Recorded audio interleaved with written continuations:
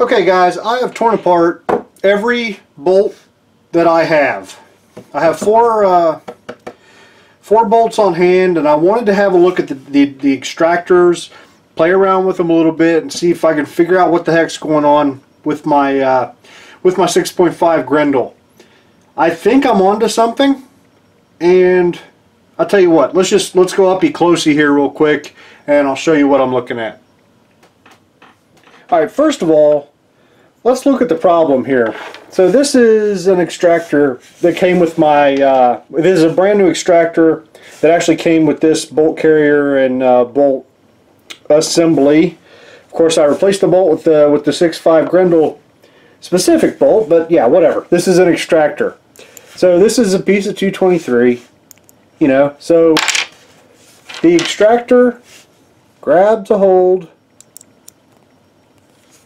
and yanks it back out of the chamber, right? Then the uh, the ejector and lifts up that side, and as it lifts up, you know, this thing kind of ends up letting go. So straight, it has a really good grip. Tilted, it just comes off nice and easy.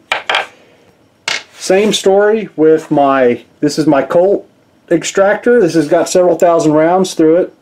Same deal, you know, it uh, straight, has a nice uh, nice grip on it, and then it turns and, and comes off nicely. And this is the Rainier out of my 300 Blackout, which has several hundred rounds through it. Same story. So let's have a look and see how my, yep, here's a brand new piece of 6.5 Grendel brass and here's my 6.5 Grendel extractor. Gets a hold of it, and then as it tilts, it locks. So rather than being able to tilt free, it tilts a little ways and then completely locks. And the reason why are these little tits here. I'll tell you what, let's uh, yep, let's go a little bit closer and I'll show you the difference. Alright, here are the four extractors. Can you spot the Grendel? Yep, it's that guy right there. So you can see, like this is my Colt. It's kind of rounded on the ends there. This is the uh, Rainier.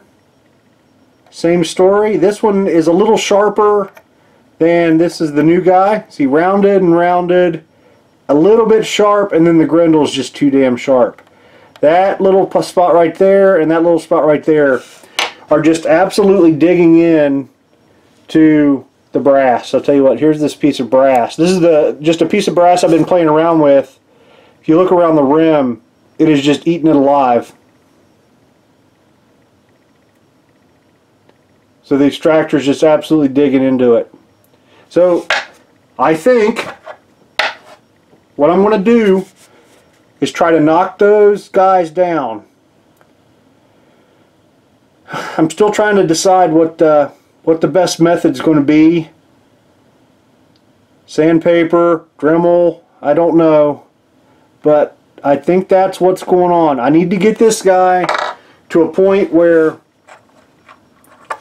it basically has a nice, uh, move these guys back, has a nice grip but as it tilts up it doesn't bind.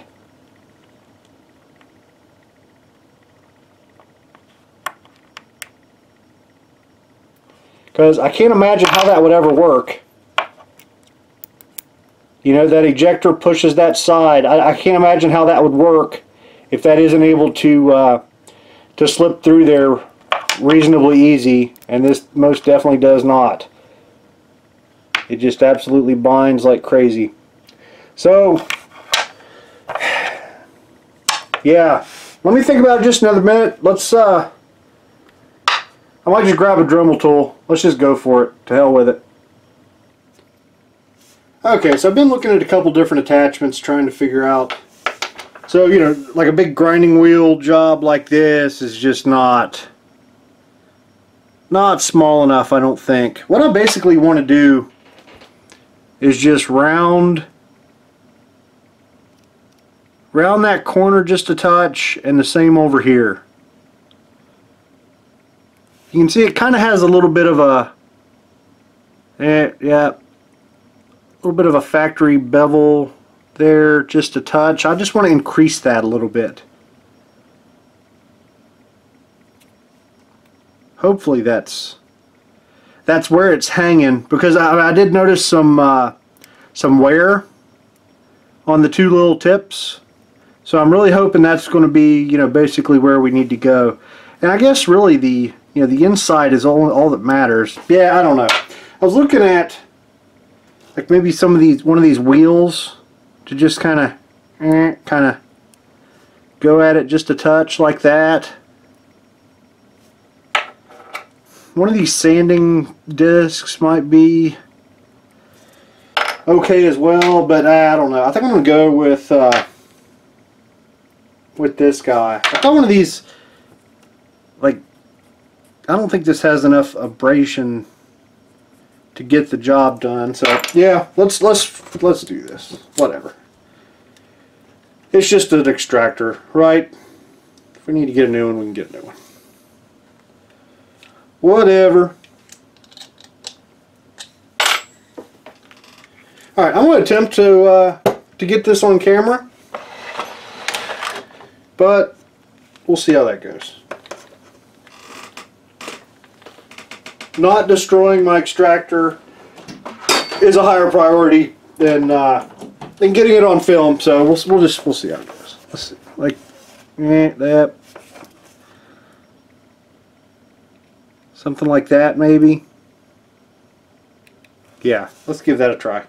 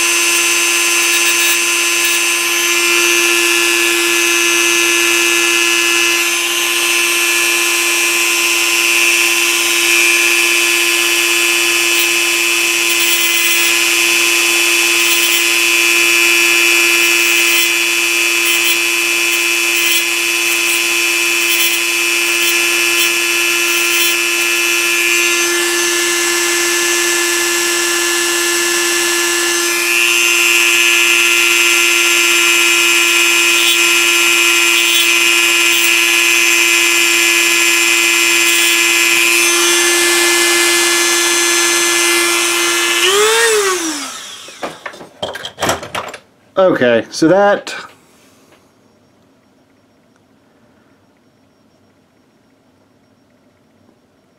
may have just made it worse. Uh, now I guess probably what I need to try is this like polishing type job. Let's see if that'll clean it up just a touch. I guess I could go ahead and see yeah, it's still definitely hanging hanging up. Let me try the try the polisher on here now.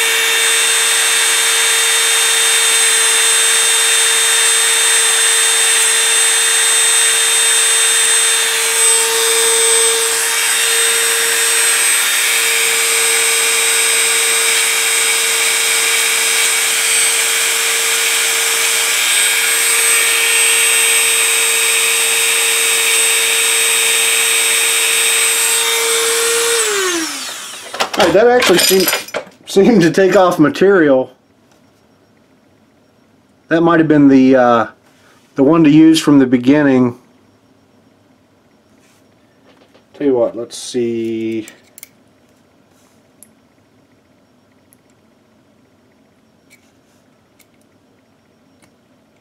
It, I can kind of get it to, you know what, by God, I think that might be just about perfect. Still kind of get a little bit of a eh, but it's it's easily overcome. You know what? Let's throw this in the gun and see what happens. Kind of want to see if I got any. Yeah, I don't see any sharp edges or burrs. All right, I'll tell you what. Let's let's have a really close-up look at it and uh, compare it to the others again. See if I uh, screwed anything up. Okay, so I may have gone a little bit overboard. Eh, yep.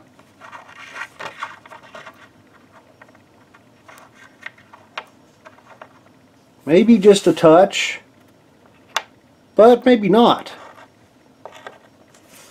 Tell you what, let's see if we can kind of have a side view here. It looks a whole lot more like the others now than it did. But if anything, I may have went too far. Alright, let's, let's put it back together see what happens. Okay, the bolt's back together, the gun's back together, 10 rounds in the magazine, weapon on safe. Let's see what the hell happens here.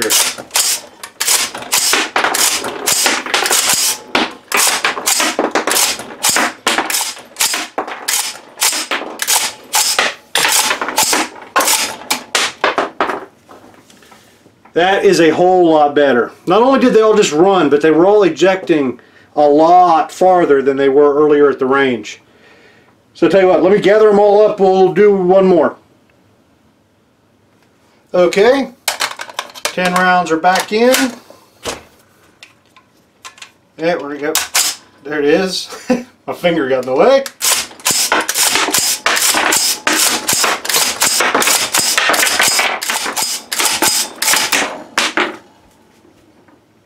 Kick ass. Nice. All right, so I think we're fixed. So now the, uh, you know, so now my fear is going to be uh, failures to extract, right? If I wore that, if I wore that extractor down too much, you know, to where it can't really get a hold of that uh, that round and pull it out of the chamber. If we start leaving them in the chamber, then that'll mean I went too far. But hopefully not. Looks good so far. So, yeah. Next video, we'll be loading up some more ammo, heading back to the range. So, hopefully we're fixed.